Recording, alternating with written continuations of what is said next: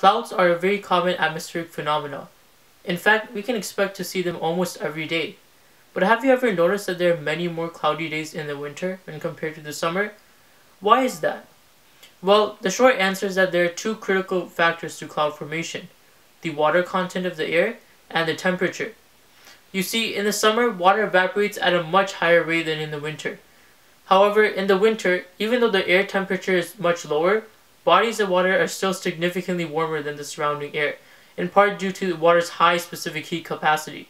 And so the rate of evaporation, although lower than what it is in the summer, is still pretty high. Combined with the lower carrying capacity for water in cold air, condensation occurs much more readily, leading to higher rates of cloud formation.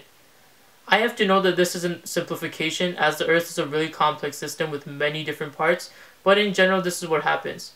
I hope you learned something.